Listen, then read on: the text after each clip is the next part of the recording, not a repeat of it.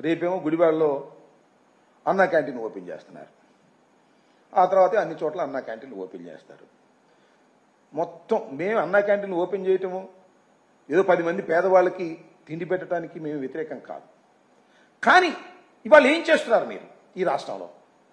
పేద ప్రజల్ని ఆదుకోవలసినటువంటి అన్ని అంశాలని కూడా పక్కన పెట్టేసి కాస్త అన్నం పెడతాం రండి.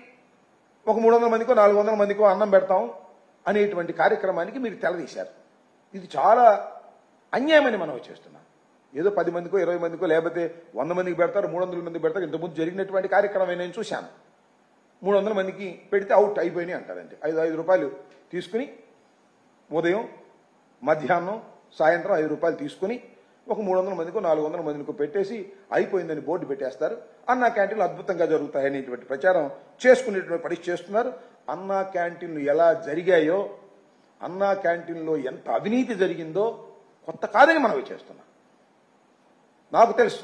అప్పుడు మీరు చూసినట్టయితే రెండు వేల పద్నాలుగు పంతొమ్మిదిలో టీడీ ప్రభుత్వం ఏర్పాటు చేసిన అన్నా క్యాంటీన్ల వ్యవహారం ఒకసారి మనం పరిశీలన చేసినట్లయితే అప్పుడు రాష్ట్ర వ్యాప్తంగా రెండు దశల్లో రెండు వందల మూడు అన్నా క్యాంటీన్లు ఏర్పాటు చేయాలని తలపెట్టారు.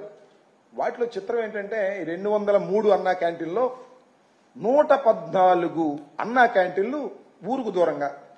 ఎక్కడో మూలన. స్థలం ఎక్కడ దొరికితే అక్కడ. కట్టేసే కార్యక్రమం చేశారు. జనరల్గా ఎలా చేస్తారు అన్నా క్యాంటీన్లు?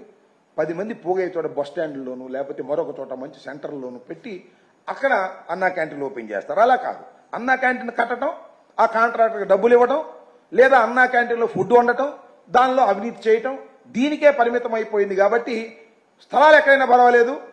అని ఊరికి దూరంగా మానవ సంచారం తక్కువగా ఉండే చోట్ల అన్నా క్యాండిల్ కట్టేసే స్థలం ఎక్కడ దొరికితే అక్కడ అన్నా క్యాండిల్ కట్టేయండి అనేటువంటి పద్ధతుల్లో. దీనికి డెబ్బై ఆరు పాయింట్ ఇరవై రెండు కోట్ల రూపాయలు ఖర్చు చేశారు. నిజానికి ఇంత కాదు. ముందేమో పదిహేడు పాయింట్ మూడు లక్షలతో నిర్మించాల్సి ఉంటుంది అని ముందు టెండర్లు పిలుస్తారు. ఆ బిగిన అయిన తర్వాత "ఆ, కాదు కాదు కాదు ఇది ఇప్పుడు బాగా ధరలు పెరిగిపోయాయి. కాబట్టి వీటిని పెంచాలి అని వాళ్ళంతటా వాళ్ళే నిర్ణయం చేస్తారు. దాంతో ఏం చేస్తారంటే రెండు వేల పది చొప్పున చేయాల్సిన దాన్ని మళ్ళా చదరపు అరుగురికి రెండు వేల పది రెండు వేల వంద అని నిర్ణయించారు ముందు. తర్వాత నాలుగు వేల ఐదు వందల ఎనభై ఐదు రూపాయలు పెంచేశారు ఒకసారిగా కాంట్రాక్టర్కి.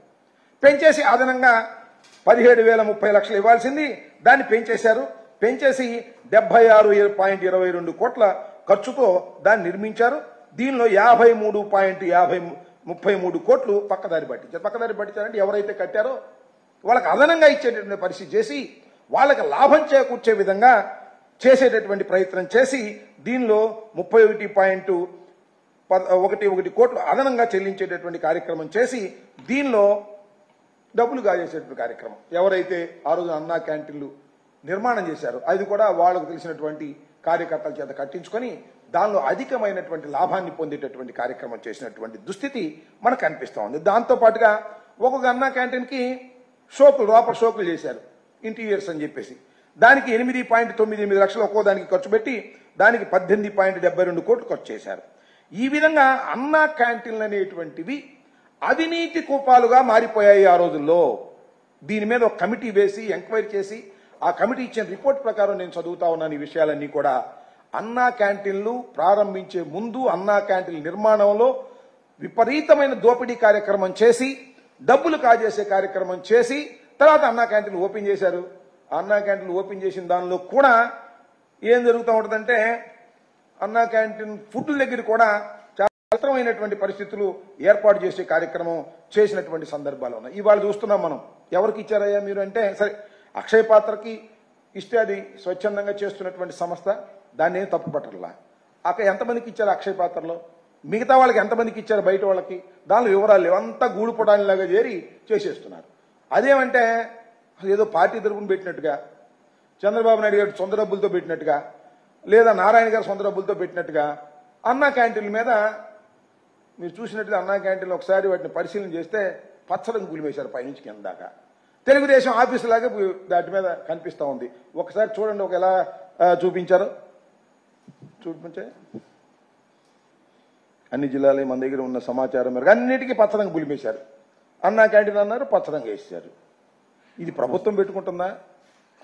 లేక చంద్రబాబు నాయుడు గారు తెలుగుదేశం పార్టీ నారాయణ పెట్టుకుంటున్నారా? ప్రభుత్వ సొమ్ముతో మీకు ఒకటి గుర్తుండే ఉంటుంది.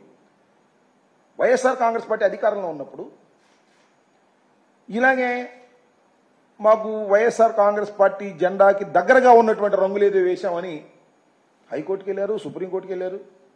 సుప్రీంకోర్టులో ఆర్డర్స్ ఇచ్చాయి పార్టీ రంగులు వేయడానికి వీల్లేదని. వైకాపా రంగులు వేయడం దారుణం.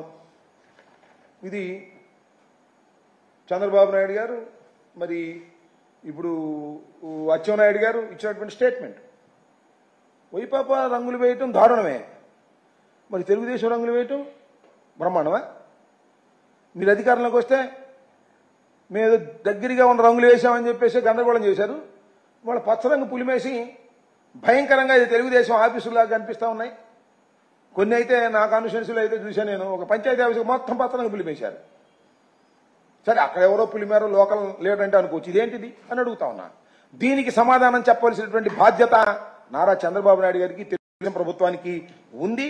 ఇలా అన్ని పథకాలు ఎగ్గొట్టేసి కేవలం ఏదో ఒక పూట రెండు పూటలో భోజనం పెట్టి ప్రజల్ని తప్పుదోవ పట్టించి ప్రజల్ని పేదరికం నుంచి బయటకు తీసుకురావాలనేటువంటి ఒక సిద్ధాంతాన్ని ఏదైతే జగన్మోహన్ రెడ్డి గారు భావించారో చదువు వైద్యం అందించడం ద్వారా పేదవారిని పేదరికం నుంచి బయటకు తీసుకురావాలనే ప్రయత్నం చేశారో అవన్నీ వదిలేసి పేదవారిని మరింత పేదవాడిగా చేసేటటువంటి కార్యక్రమం చంద్రబాబు నాయుడు గారు చేయటం చాలా దురదృష్టకరమని అన్నా క్యాంటీన్లో అంత అవినీతి జరిగింది.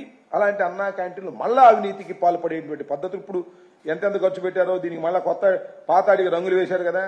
దానికి ఎంత ఖర్చు పెట్టారో ఏమిటో రాబోయే కాలంలో మళ్ళా చాలా వివరంగా మనకు తెలుస్తాయి. ఇంకా సమాచారం లేదు. ఆ సమాచారం వచ్చిన తర్వాత దాని మీద కూడా వివరంగా చెప్తామని కూడా ప్రయత్నం చెప్పే ప్రయత్నం కూడా చేస్తామని ఈ సందర్భంగా నేను చెప్పదలుచుకున్నాను.